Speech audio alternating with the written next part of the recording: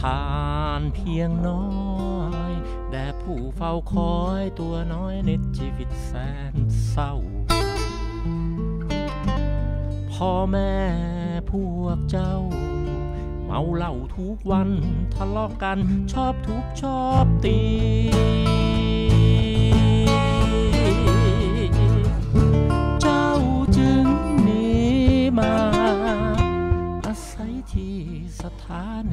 ไฟกับเพื่อน ขอทานเรื่อยมา ใครเขาเมตตาให้อ่านมาประทังชีวิต ขอทานเรื่อยไป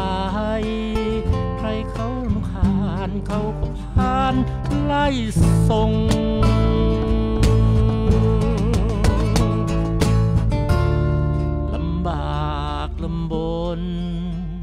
ก็สู้อดทนไม่คิดเปลี่ยนใจไม่หวนคืนบ้า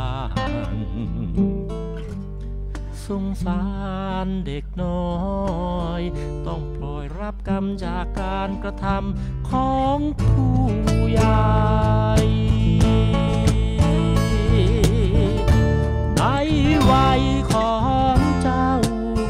น่าจะรับเอาแต่สิ่งที่ดีมาสู่ชีวิต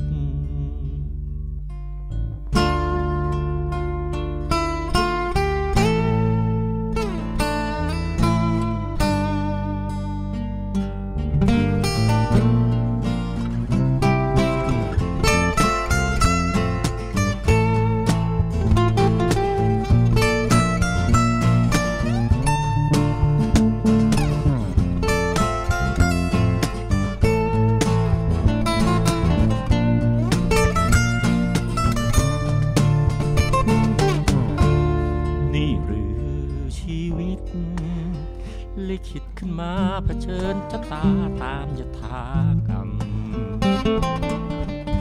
มองตาดำด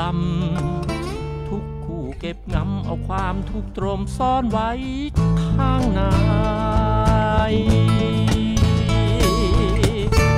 หัวใจของเจ้า จึงเข้าใจกันขอทานร่วมกันไม่กลับบ้านแล้วหัว ใจของเจ้า จึงเข้าใจกันขอทางร่วมกันไม่กลับบ้านแล้ว